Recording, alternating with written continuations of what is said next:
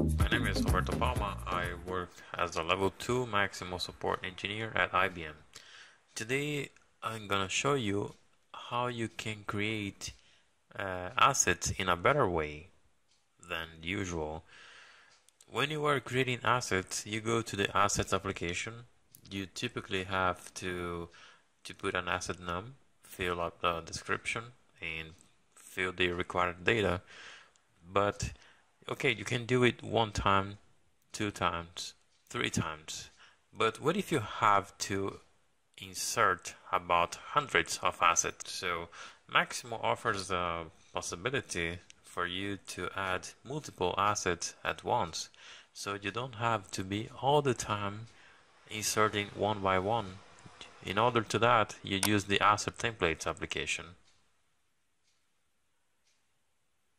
The asset template application is an application where you create a template for uh, common data between the assets and you can use that template to generate assets with the information that you put in the main tab for the for the asset template and for the other tabs for specifications. For example if you are trying to create multiple assets that will have the same classification information or they are from the same vendor. Uh, there's a lot of information that you can use for creating multiple assets at once.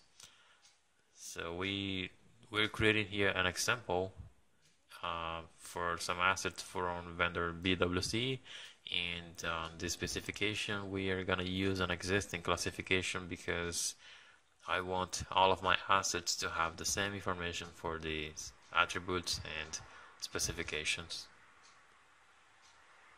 So we just have to fill the data.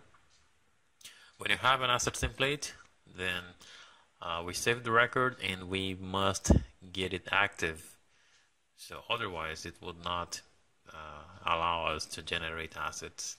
So once that is done, you just have to go to the select action and generate your assets.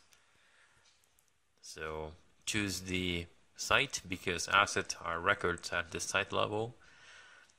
And uh, quantity is where you put the quantity of the assets that you are going to be generating. So I want a prefix of Bob and the numbers 01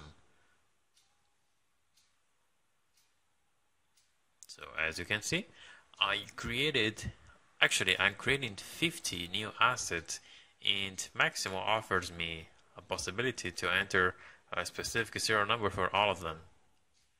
So uh, that means that if you I if I go to the assets application, we should have now 15 new generated assets and I didn't have to do it one by one.